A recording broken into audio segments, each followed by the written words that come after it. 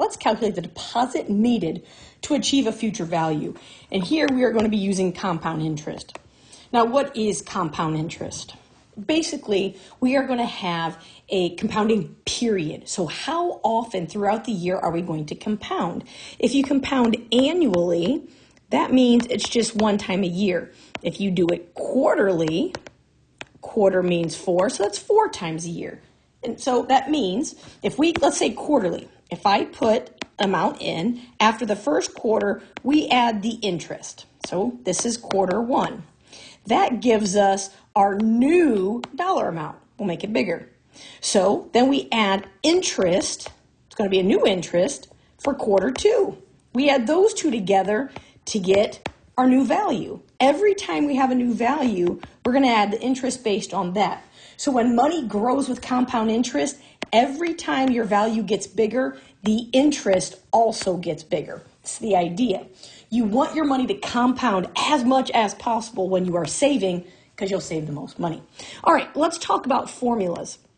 If we are talking about a periodic, so that's quarterly, annually, uh, monthly, those types of things, we have the amount at the end equals our initial principal times 1 plus the interest rate divided by the number of compounding. Take it to the number of compounding time number of year, right? So we're multiplying those together. Continuous is slightly different, and that's where we get into P equals E to the RT, where P is our initial principal, R is our annual interest rate, T is the number of years. E is a mathematical constant. Your calculator should have an E button. E is approximately 2.71. It goes on forever. It's an irrational number. Just use the button on your calculator. Let's do some examples. Let's calculate the deposit needed into an account if you want to have $5,000 after eight years when the account has an interest rate of 3% compounded annually. So, first, let's again just kind of think through our formula and let's then talk about what each of these values uh, represent. So, A is our ending amount. We want to have $5,000 at the end. We're trying to find the deposit needed. That's the initial principal. Then, inside our parentheses, we have 1 plus our interest rate. Well, our interest rate is 3%, so 0.03, and we're going to divide that by the number of times we're compounding in a year. Well, we're compounding annually. Annually means once a year, so n is 1. For my exponent, I'm going to take 1 times the number of years, and this says 8 years.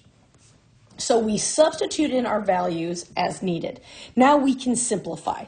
So let's go ahead and just start by simplifying. We have 5,000 equals initial principal. We have 0.03 divided by 1, which is just 0.03. When you are doing compounded annually, formula is a lot nicer. So we can simplify inside. I'm just doing this step by step. If you have a good calculator, you can do this basically all in your calculator at one time. I like to show steps so that we know exactly what we're doing. Now we have to take our exponent. So 1.03 to the eighth. You can do that work out, or you can think of it as, let me just do this over here, 5,000 equals p times 1.03 to the eighth. You can also think of it as we are just going to divide both sides by 1.03 to the eighth. The only thing I would tell you if you're going to do this is make sure you put the denominator all into either parentheses or brackets. You want to make sure that 8 of an exponent stays with the 1.03. All right, you also could type that in as 5,000 divided by um, parentheses 1.03 to the 8th. Because the 1.03 is a number, the 8 will go with that. At any rate, we end up with an initial deposit of approximately $3,947. Um, and it goes 0.046172, goes on and on and on. If you want to make sure that you have $5,000, you're going to need to round this down. So we're going to say $3,947.04. By putting that money in, you will end up with a little over 5,000, like barely any. Okay, so keep that in mind. If you round it up to 0.05, you will end up just shy um, of the 5,000 mark. All right, now let's change our, we're going to still do a compounded problem, but we're going to go monthly. So again, think through your formula. A equals P, 1 plus R over N raised to the N times T. Let's plug in what we know. We want to have $3,700 after six years when the account earns 2.5% interest compounded monthly. All right, so we want to have 3,700. We don't know the initial amount. Our interest rate is 0.025, right? 2.5%. Divided by monthly means n is going to be 12 because there are 12 months in a single year. Then we take 12 times 6. Now, this is just not nearly as nice as what we had before. So let's think about our exponent. That's going to be 72, and all this in here is just not great. So you have a couple of options. First, take the 12 times 6, and that's going to be 72. So let's go ahead and just make that, oops, make that something that we know. And I'm trying to make this as easy as possible with you for your calculator. Okay, so if you want to type all of this in, you've got to use the order of operations. And the key is if you don't know how to use your calculator in a certain way, you're going to get the wrong answer. So, first things first, let's do this the way that's probably the easiest. And that is dividing both sides by 1 plus 0.025 over 12 raised to the 72nd power. Okay, so this is where you're like, whoo, that could get ugly. And you're right, it can. So this is what it looks like if you type this into your calculator. You're going to hit 3,700 divided by parentheses, parentheses, do the double parenthesis, 1 plus 0.025 divided by 12, parenthesis, raise that up to the 72nd power, end parentheses. Okay, so you want to make sure that the outside parentheses there Make sure that it all stays together in the denominator. That's going to give you your answer of, we're going to go with $3,185.11. Again, you're going to need to round down to ensure that you get the full amount. Now, let's go back to the blue line here. If you simplify what's inside, you're going to get 3,700 equals P times approximately 1.002083 da da da raised to the 72nd power. If you then take that, keep it in your calculator, raise it to the 72nd power, now we have 3700 equals p times 1.161652. Keep it all in there. We get our answer. Many, many calculators have like an answer button. So and that the answer button means whatever you previously had as an answer. So from that, if you have this number in your calculator, the next step would be to hit 3700 divided by the answer because it will populate the 1.161652 da da da da da. So like I have a TI-83, I would hit second and then the negative button at the bottom and that gives me the uh, previous answer.